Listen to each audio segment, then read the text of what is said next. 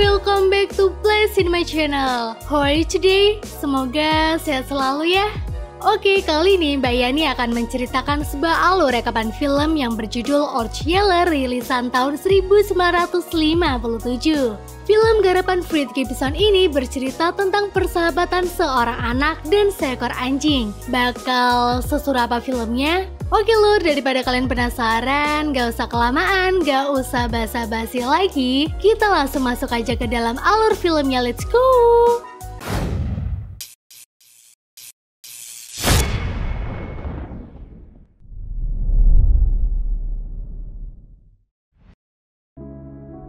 Terlihat di suatu rumah, kepala keluarga bernama Jim sedang berpamitan akan berangkat kerja merantau kepada Katie istrinya dan kedua anaknya. Kemudian Travis anak sulungnya mengantar ayahnya dengan kudanya masing-masing. Di jalan, si ayah berpesan kepada anak sulungnya itu untuk tetap menjaga peternakan dan perkebunannya. Arke pun kemudian mengiyakan permintaan ayahnya walaupun dia tahu pasti itu bukanlah pekerjaan yang mudah. Travis selalu minta kuda yang bagus kepada ayahnya sebagai oleh-olehnya nanti. Selesai mengantar ayahnya di perempatan jalan, pulangnya Travis langsung menjalankan amanat dari papanya untuk berkebun.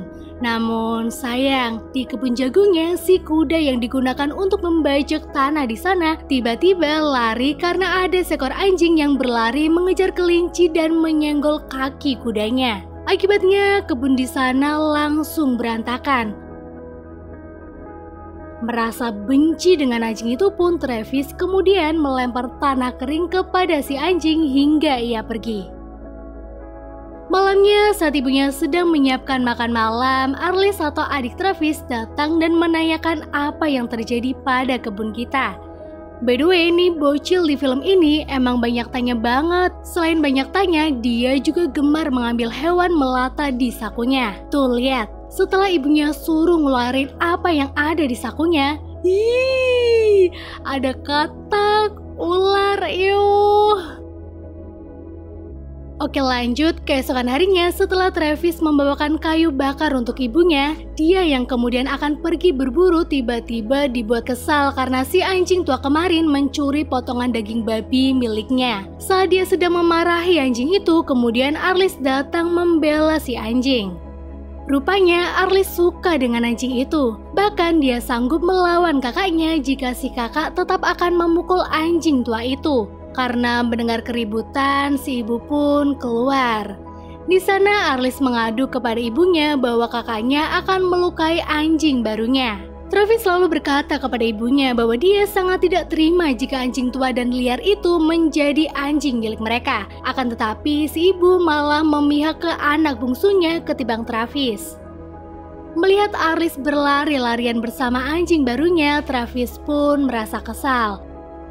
Menjelang siang, Travis pun pergi berburu ditemani kudanya. Setelah mendapatkan seekor rusa, dia pun kemudian pulang. Namun di depan rumah, Travis lagi-lagi dibuat emosi karena adiknya mengajak anjing tua itu bermain di kolam keluarganya. Oh ya, by the way, semenjak diasuh, anjing itu diberi nama Old Yeller. Travis mencoba melukai si anjing dengan melemparkan batu ke tubuhnya. Namun itu membuat si adik tak terima dan dia malah mendapatkan balasan berkali-kali dari si adik. Ya, walaupun gak kena sih. Malamnya, Travis yang sedang menggantungkan daging asap rusa itu pun lagi-lagi ketemu Geller. Dia lalu sengaja menaruh salah satu daging tidak terlalu tinggi kemudian mengatakan kepada Yeller jika dia memakan daging ini maka besoknya tak pikir lama si Yeller akan ditembak. Yeller pun terlihat hanya terdiam seperti mendengarkan ucapan dari Travis. Dan keesokan harinya, Travis yang baru bangun tidur pun langsung mengecek potongan dagingnya. Wah, ternyata Yeller tak menyentuhnya sama sekali lur. Travis yang agak penasaran lalu menghampiri ibunya dan bertanya si ibu memberi makan apa kepada si Yeller dan ibunya malah menjawab bahwa dirinya lupa belum memberi makanan sama sekali kepada si Yeller. Siang itu Travis membantu ibunya membuat pagar kebun, sementara Arlis terlihat sedang asyik menangkap ikan bersama Yeller. Setelah Yeller berhasil menangkap lele besar, Arlis pun langsung memamerkan hasil buruannya kepada ibunya. Ya, walaupun berbohong katanya dia sendiri yang menangkap lele itu. Uh, dasar bocil. Travis masih saja kesal mendengar perkataan adiknya yang suka halu dan berbohong. Namun, ibunya menengahi dengan mengatakan Arlis masih kecil dan biarkan dia menceritakan kisahnya sesuai keinginannya. Wih, ibu yang bijak ya lur, patut dicontoh Mbak Yani nih kalau udah berumah tangga. Oke lanjut, tak sampai di situ saja ulah Arlis. Di bawah teriknya matahari, Arlis dengan rotinya sengaja memancing anakan beruang agar mau mendekatinya. Dan saat beruang itu semakin dekat, hap, Arlis pun menangkap beruang itu. Ada-ada aja ya. Mendengar suara keributan, Travis dan ibunya pun segera ke sumber suara. Dan mereka berdua sangat panik ketika melihat ibu beruang juga ke sana karena mendengar anaknya berteriak. Karena takut adiknya akan diserang, Travis pun langsung berlari menghampiri emaknya si beruang. Namun belum sampai dia menghampiri, Yeller datang dan menyerang si ibu beruang agar tak bisa melukai tuannya. Semenjak itulah Travis menjadi tidak benci lagi kepada Yeller. Bahkan di malam harinya, Travis juga mengajak Yeller tidur di ranjang bersama dirinya dan si adik. Di lain hari keluarga mereka kedatangan seseorang bernama Bud dan Lisbeth cucunya. Di sana Bud terus mengeluh karena di kotanya ada seekor anjing yang selalu mencuri makanan mereka. Dan saat Lisbeth sedang menemani Travis memetik jagung di kebunnya, Lisbeth berterus terang bahwa anjing yang dimaksud kakaknya itu adalah Yeller. Karena takut Lisbeth akan mengadu kepada kakaknya, Travis kemudian menyuap anak itu dengan sebuah barang. Melihat badan cucunya telah pergi, Travis selalu berterus terang bahwa kata Lisbeth Yellerlah anjing yang tadi diceritakan oleh Bud. Dan malamnya, Travis yang tak ingin membiarkan anjingnya mencuri lagi pun memberikan sebuah pekerjaan baru untuknya, yaitu menangkap sigung yang hampir setiap malam selalu mencuri jagung di kebun Travis.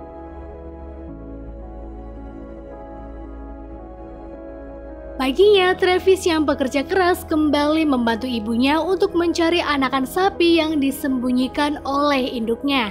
Berkat Yeller, Travis pun dapat mengerjakan tugasnya dengan mudah. Dan kini dia juga dibantu Yeller agar si induk sapi tenang saat tutuknya diperah. Bagi Travis, semenjak Yeller ada bersamanya, semua hal yang dilakukannya terasa lebih mudah. Itu tak lain karena Yeller selalu ada untuk membantu. Siangnya rumah mereka kedatangan tamu. Ya, itu adalah Fern atau pemilik Yeller sesungguhnya. Rupanya Fern mengetahui anjingnya ada di sini karena dirinya diberitahu oleh Beth. Kedatangan Fern ke sini yaitu untuk mengambil Yeller. Kathy lalu menyuruh Travis untuk mengundang Yeller yang sedang bermain bersama anak bungsunya di ladang. Terlihat Travis merasa sedih karena Yeller akan pergi. Dan saat Burn baru menjalankan kudanya beberapa langkah, Arlis yang tak terima pun tiba-tiba berontak dan melempari batu ke arah Burn hingga membuatnya jatuh. Burn yang tak emosi dan memahami perasaan Arlis pun kemudian memberi tawaran kepada bocil itu. Ya, dia menyuruh Arlis agar ibunya memberikan makanan untuknya. Selain itu, pria itu juga meminta katak yang selalu ada di saku Arlis sebelum dirinya memberikan Yeller kembali kepadanya. Selesai makan siang di sana, Burn yang akan pergi lalu minta diantar Travis sampai di halaman depan. Sebelum pulang, Burn memberi informasi kepada Travis bahwa di kota ini sedang marak wabah hidrofobia. By the way, hidrofobia sendiri adalah penyakit anjing gila, di mana si anjing atau hewan yang terkena infeksi virus itu akan mengalami gejala seperti susah menelan dan merasa panik jika diberi air minum. Oke lanjut, setelah Brown pergi, Travis di hari itu pergi berburu bersama Yeller. Melihat ada sekumpulan babi, Travis pun menyuruh Yeller untuk menggiringnya ke tepi bebatuan. Sementara dirinya terlihat sedang bersiap dengan talinya untuk menangkap salah satu induk babi. Beberapa kali Travis mencoba menangkapnya namun dia tak berhasil. Yang ada dia malah mendapatkan anakan dari babi itu. Dan beberapa saat kemudian Travis pun berhasil menangkap indukan babi. Dengan suka tenaga Travis menarik babi itu. Namun karena masih bocil kali ya, Travis tak berhasil menariknya dan dirinya malah terjatuh. Di bawah Travis diserang oleh babi. Dia yang kakinya tergigit dan ketakutan pun terus memanggil-manggil Yeller. Yeller yang tadi sedang mengejar salah satu babi yang lari pun langsung menemui tuannya. Sementara Travis langsung melarikan diri ke tempat lain untuk memberikan pertolongan pertama pada lukanya. Melihat para babi itu pergi, Travis pun panik karena takut anjingnya kenapa-napa. Dia kemudian berlari menemui anjingnya. Dan ternyata si Yeller telah terkapar lemah karena mendapatkan luka yang cukup banyak. Sambil meneteskan air mata, Travis membuka kemejanya untuk menutup luka di perut Yeller. Dengan pelan-pelan, Travis membantu Yeller masuk ke dalam lubang di bebatuan itu. Travis memberi pesan kepada Yeller untuk tetap berada di sini sampai dirinya kembali. Sementara dirinya akan pulang dan melaporkan apa yang terjadi kepada ibunya. Sebelum benar-benar meninggalkan Yeller, Travis berjanji bahwa dia akan secepatnya kembali ke sini. Namun di rumah, ibunya yang baru saja selesai mengobati anaknya itu mengatakan Travis untuk sementara waktu tak boleh ke mana-mana sampai luka itu sembuh. Travis selalu mencoba menyangkalnya dengan berkata dirinya telah memiliki janji dengan Yeller bahwa dia akan segera menjemputnya ke sana. Melihat anaknya sangat terobsesi, kini akhirnya si ibu, Travis, dan Alice pun pergi menemui Yeller. Terlihat sekumpulan gagak sedang mendekati tempat Yeller bersembunyi. Sebelum mengalihkan batang pohon di sana, Katy menyuruh anak bungsunya untuk menangkap seekor kadal. Di sana, Katy merasa kasihan melihat luka yang didapatkan Yeller. Karena luka itu cukup besar, akhirnya Katy menyuruh Travis untuk mengambil sehelai rambut milik kudanya untuk dijadikan benang jahit. Selesai menjahit luka Yeller, kini mereka pun kembali ke rumah bersama Yeller. Di rumah saat Katy sedang membuat bahan obat untuk Travis, badan cucunya kembali datang ke sana. Di sana, Lisbeth yang sengaja membawakan anak anjing untuk Travis pun masuk ke kamarnya. Dan sepertinya lur, dari gerak-gerik Lisbeth, dia itu suka sama Travis. Travis yang diberi seekor anak anjing kepada Lisbeth hanya menjawab bahwa aku sudah memiliki anjing, yaitu Old Chiller. Membuat Lisbeth merasa kesal dan akhirnya memberikan anak anjing itu kepada Arlis. Setelah Lisbeth keluar dari kamar Travis, Beth kemudian masuk dan mengecek luka yang didapati anak itu. Di sana, Beth menakut-nakuti bahwa itu adalah gigitan dari anjing gila yang akan bertambah buruk. Katy sebagai orang tua Travis yang mendengar pun tentu tidak suka dengan apa yang dikatakan Beth. Karena itu akan membuat anaknya patah semangat untuk sembuh. Nah, sebelum pulang, di sini Beth menyuruh cucunya untuk sementara waktu tinggal di sini agar dapat membantu Katy. Keesokan harinya, Lisbeth yang juga masih tetap ada di sana terlihat sedang membantu Katy berternak. Di sana, Travis bersama Yeller yang kini sudah mendengar pun ikut masuk ke ladang. Merasa ada yang aneh dari sapinya, Katy pun menyimpulkan bahwa sapi yang belum lama melahirkan anaknya itu mengalami kebutaan. Namun menurut Travis, sapi mereka mengalami hidrofobia. Karena akan membahayakan jika terus hidup, akhirnya Travis pun memilih untuk menembaknya. Malamnya, Katy dan Lisbeth membuat perapian untuk membakar bangkai sapi itu. Travis, Bring your gun! Tak lama terdengar Katy memanggil Travis dengan suara paniknya dan menyuruh dia untuk membawa tembakan. Ternyata ada seekor serigala yang masuk ke ladang mereka dan sekarang sedang diserang oleh Yeller. Travis selalu mencoba memfokuskan diri agar bisa menembak tepat pada sasaran. Namun berkali-kali dia tak jadi menembak karena dia takut salah sasaran dan malah membuat Yeller yang tertembak. Setelah memfokuskan diri, akhirnya Travis pun melepaskan pelatuknya dan...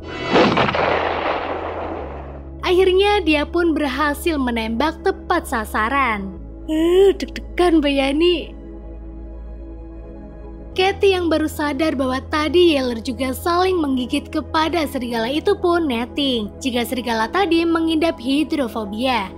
Dan jika ia sudah dipastikan Yeller juga akan tertular. Awalnya Katy mau nggak mau akan menembak Yeller, namun Travis berkata Yeller lah yang telah menyelamatkan dua orang yang Travis sayangi, yaitu Arlis dan ibunya. Dia kemudian meminta cara lain kepada ibunya dengan mengisolasi Yeller di kandang selama sebulan. Kini sudah dua minggu Yeller diisolasi dan dia tak menunjukkan tanda-tanda menjadi gila. Akan tetapi menurut ibunya dua minggu lagi Yeller baru bisa dikeluarkan dari kandang ini. Hamin satu sebelum Yeller akan dikeluarkan dari kandang, terlihat Arlis sangat antusias dan selalu bertanya kenapa si Yeller tak dikeluarkan dari kandang sekarang saja. Dan ibunya pun tetap kekeh bahwa besok adalah waktu yang tepat untuk mengeluarkan Yeller. Malamnya, Travis membawakan makanan untuk Yeller seperti biasanya. Namun terlihat di hari itu Yeller berbeda. Dia seperti anjing yang marah dan akan menerkam seseorang. Padahal dia yang di depannya itu Travis, tuannya sendiri. Dan Travis yang melihat pun tidak menyangka jika Yeller terkena hidrofobia. Travis pun kembali masuk ke rumahnya dengan muka murungnya. Bahkan ketika dia ditanya ibunya bagaimana keadaan Yeller pun, Travis menjawabnya dengan nada sengak. You know, sengak lur?